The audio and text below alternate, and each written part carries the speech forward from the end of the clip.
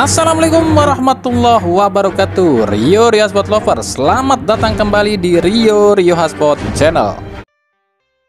PSS Sleman mengklaim sudah membereskan persoalan masalah registration bandnya ke FIFA. PSS pun mengunggah di Instagramnya surat dari FIFA soal pencabutan sanksi ini. Tapi benarkah ini? Ya kami nggak tahu ini benar apa enggak sebab pada Kamis pagi 23 Mei 2024 saat kami mengunjungi situs resmi FIFA, nama PSS Sleman belum hilang dari daftar tim yang masih kena sanksi registration ban. Nah lo, apakah ini FIFA yang lupa ngehapus ataukah belum dihapus atau apa nih?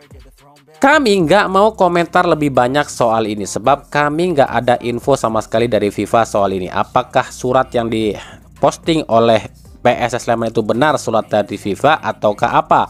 Atau memang itu benar surat dari FIFA dan FIFA-nya yang belum ngehapus dari daftar registration band? Ya silahkan saja komentar kalian pribadi masing-masing. Kalau kami kan cuma menyampaikan apa yang kami lihat aja. Ya terserah kalian mau percaya yang mana Mau percaya yang kami udah bikinkan videonya Atau kalian percaya sama gambar aja. Gitu aja sih. Masih nggak percaya juga dan bilang Lu tanggal berapa masuk ke situs FIFA-nya? Ya udah kita ulangin lagi. Lihat sendiri ya. Tuh lihat. Kamis 23 Mei 2024 Sekarang kita ulangin aja Masuk ke Google Chrome, terus ketik registration band. Nah, itu klik yang paling atas ya. Terus ketika aku udah kebuka, nah kita cari di kolom pencarian itu ketik AFC, lalu geser ketik lagi Indonesia dan klik mencari. Nah, lihat sendiri kan, ini daftarnya loh dari Indonesia. Masih ada kan? Di situ kan ada tertulis daftarnya tuh, ada Persiwa, Persija, Persika, Persikabo, Persiraja, Barito, PSM dan ada PSS Sleman juga. Jadi ya silahkan saja itu hak kalian mau percaya yang mana. Mau percaya dengan video yang kami bikin Atau percaya dengan postingan Instagramnya PSS Sleman. Ya itu sih hak pribadi masing-masing. Ya silahkan saja lah kalau itu. Oke ya udah kami jawab soal pertanyaan kemarin. Bener nggak sih PSS Sleman ini udah terbebas dari sanksi registration ban ya silahkan nilai sendiri aja yang mana yang benar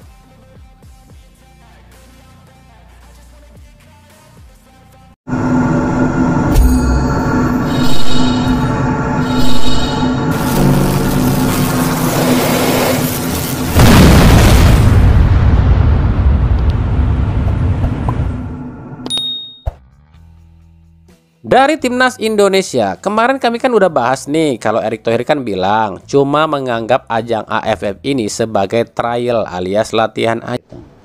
Ya kalau saya mungkin saya udah pernah warkan. Ya SEA Games kita fokus, ASEAN Games kita kirim tim muda, ya.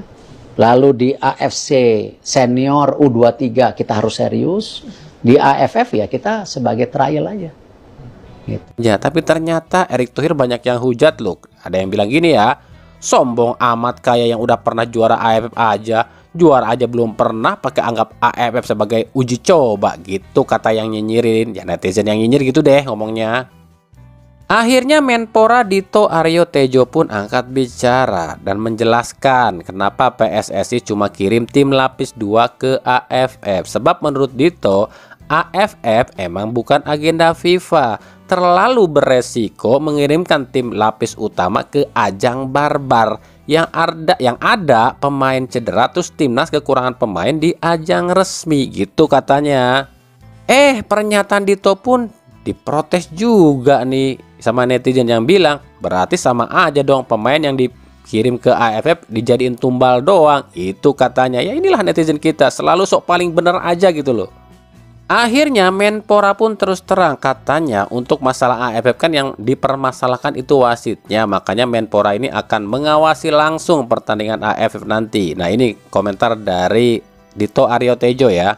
Yang penting di piala AFF nanti wasitnya terjaga. Saya rasa sih wasit juga trauma kalau mengerjai Indonesia karena langsung diserang warganet itu ujar Dito. Tapi apa akan jerak kalau cuma diserang warganet Indonesia? Apakah Dito akan langsung ke Vietnam buat ngawal pertandingan? Kan nggak mungkin. Kalau misalnya Dito dan Presiden ini ke Vietnam buat nonton AFF kan itu sama aja buang waktu mereka dong buat nonton ajang yang bukan resmi FIFA. Sekarang gini deh, untuk sekelas lawan Guinea aja ya, yang ada Erick Thohir dan Presiden FIFA-nya, wasit tetap curang kok, apalagi ini sekelas ASEAN gitu loh. Makanya nggak ada jaminan buat kami sih kalau wasit AFF ini nggak bakalan curang. Nah gimana pendapat kalian? Wasit AFF ini bakalan curang lagi apa enggak nih? BTW yang kemarin nanya, Bang, kenapa Indonesia lawan Irak tuh digelar jam 2 siang? Itu sih permintaan Sintayong aja, sebab Sintayong ini menilai cuaca di Jakarta itu sangat ekstrim. Buktinya, Jai Ijes dan Nathan aja pertama kali main buat timnas itu ngap-ngapan katanya susah napas dan gak ada udara, padahal mainnya jam 7 malam loh. Bayangin kalau jam 2 siang mau sepanas apa tuh cuacanya. Nah ini yang pikirnya Sintayong itu pemain Irak pasti akan kewalahan kalau main jam 2 siang gitu. Tapi buat kami gini loh ya. Iya kalau efektif. Kalau ternyata enggak gimana? Malah kebalik gimana? Pemain Indonesia yang ngap-ngapan gimana? Soalnya gini kan, Irak ini negara gersang loh, negara panas loh. Mereka udah kebiasa loh main di tempat panas. Apa nggak jadi blunder nantinya? Ya nggak tahu juga. Gimana menurut kalian? Apakah efektif nggak nih siasat Sintayong yang memajukan ke jam 2 siang. Apakah ini akan jadi blunder apa enggak nih buat timnas?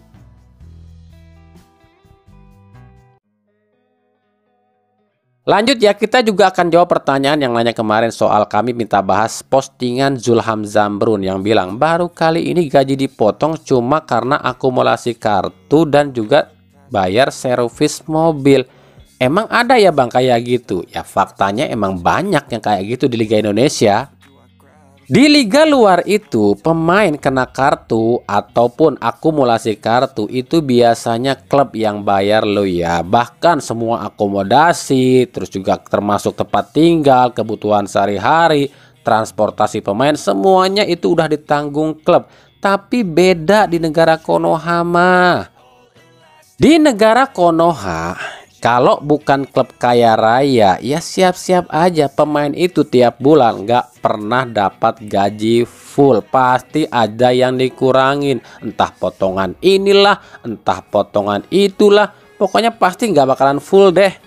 Apalagi soal kartu. Nah, sebagian besar klub Indonesia itu biasanya soal pembayaran kartu itu pemain lo yang bayar sendiri kecuali tim-tim besar kayak Raya, kayak Persib, Bali United pasti Ya nggak semua juga sih, ada juga yang ditanggung oleh klub, ada juga yang bayar sendiri gitu kan.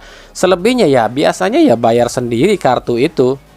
Makanya kalian bisa lihat di pertandingan ya, kalau ada pemain kena kartu kuning terus wah protesnya berlebihan ngamuk-ngamuk ya itu berarti dia emang harus bayar sendiri tuh denda kartu tuh. Tapi kalau ada pemain yang kena kartu ya melengos aja terus juga kayak anteng-anteng aja ya bisa aja dia yang ngebayarin kartu itu pihak klub ya gitu aja sih ngelihatnya. Nah, soal bayar-bayar kartu ini tuh sebenarnya udah ada loh dalam klausul kontrak. Tinggal si pemainnya jeli apa enggak ngebaca itu dari perjanjian kontrak itu ya. Kalau memang di perjanjian kontrak itu ada ya pemain nggak bisa protes. Tapi kalau di klausul kontrak itu nggak tertulis seperti itu, tapi tiba-tiba kenyataannya ada, ya harusnya pemain bisa protes sama klub. Jadi paham ya soal ini ya. Emang kenyataannya di Liga Indonesia ini memang seperti itu. Pemain biasanya memang bayar sendiri soal kartu ya. Tapi ada juga yang dibayarin sama klub. Gak semua klub bisa bayarin kartu tiap pemain ya. Paham ya?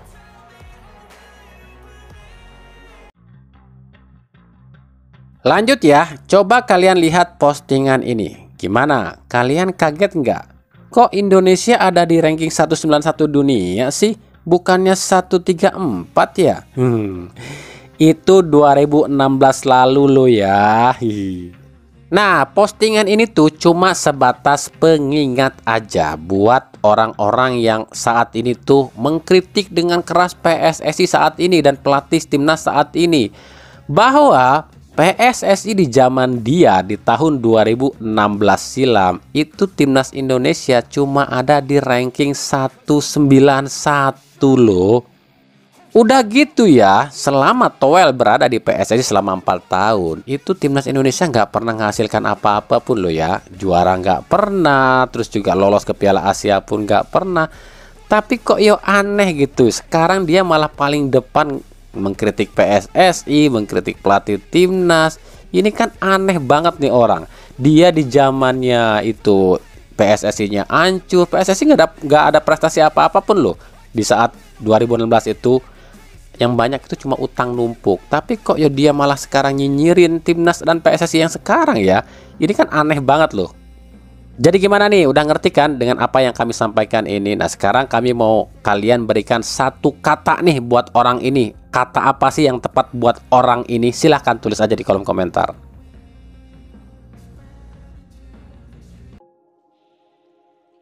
Lanjut ya dari Persib Bandung. Ini juga banyak banget yang nanya. Bang emang bener Boyan Hodak tinggalin Persib? Ada, makanya ya kalau nonton berita itu disimak baik-baik, jangan sampai tertipu dan salah paham alias gagal paham. Ntar kalau kami bilang otaknya nggak pada nyampe, eh pada marah lagi sama kami. Boyan Hodak betul memang mau tinggalkan Persib, tapi itu nanti ya kalau udah selesai Championship Series. Soal juara apa enggak, nggak ada urusan. Toh dia ini cuma mau pulang ke Kroasia buat liburan sambil nyari pemain. Nah, habis Championship Series ini kan kontrak Hodak nih habis di Persib nih ya mungkin aja ini ada pembicaraan nih apakah akan lanjut apa enggak nih di Persib kan gitu. Kalau nanti Persib juara ya kemungkinan manajemen Persib akan mempertahankan Hodak. Tapi kalau nggak juara ya nggak tahu juga Hodaknya akan terus bertahan di Persib apa enggak. Karena Hodak kan punya pikiran kayak gini nih kalau memang gagal juara. Waduh saya gagal di kan gitu dia mikirnya. Jadi kalau buat Boyan Hodak ini sih memang benar mau pulang ke Kroasia tapi cuma buat nenangin pikiran aja. Soal lanjut apa enggak di Persib ya nggak ada yang tahu, cuma dia yang tahu. Karena kalau kalian mau tahu ya, saat ini lo ya, ada kurang lebih 16 klub yang udah ajukan tawaran buat bisa mendapatkan Hodak melatih klubnya. Ada 8 klub dari Indonesia dan 8 klub dari luar Indonesia. Jadi ya mungkin aja Hodak ini masih mikir-mikir dulu kali ya Terus soal pemain baru siapa bang? Belum ada. Soalnya tiap kami tanya ke orang Persib, mau itu manajemen atau yang lain, jawabannya pasti sama. Tar dulu deh, liga aja belum kelar. Pasti itu mulu jawabannya.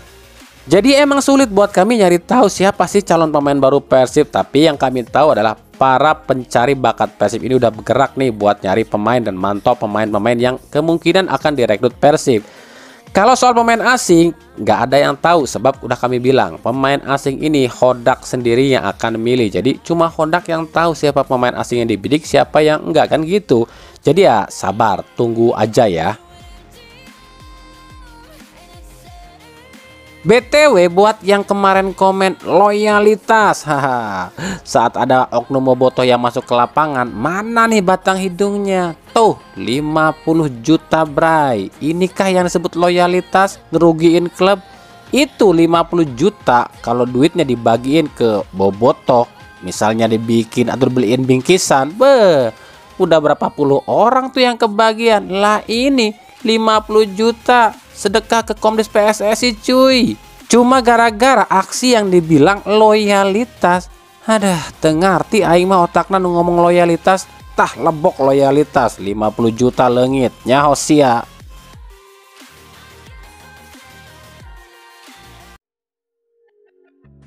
Dari Persi Kediri, Renan Silva resmi berpisah dengan Persi Kediri. Hal ini diunggah Renan di akun Instagramnya.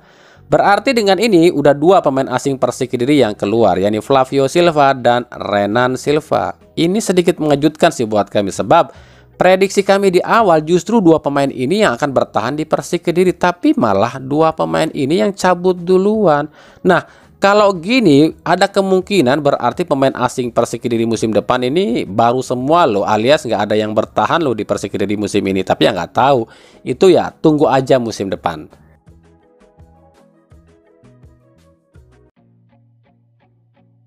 Dari Persebaya ini pun sama nih awalnya banyak yang memprediksi nih kalau Andre Octaviansyah ini akan hengkang dari Persebaya atau dilepas lah istilahnya. Tapi ternyata Paul Munster justru mempertahankan Cobra. Andre sendiri resmi diperpanjang dua tahun lagi di Persebaya. Nah dengan ini berarti inilah para pemain yang kemungkinan masih akan bertahan di Persebaya untuk sejauh ini ya. Ada Bruno Moreira, ada Andika Ramadhani, Hernando Ari, Kadek Raditya, Arif Catur, Andre Oktaviansa, Tony Firmansyah, Octavianus Fernando dan juga M Hidayat. Baru 9 pemain yang kami pastikan udah pasti bertahan ya di Persebaya. Sisanya ya masih 50-50 termasuk Reva Adi juga lu ya. Yang statusnya masih 50-50 juga ya. Kita lihat aja musim depan.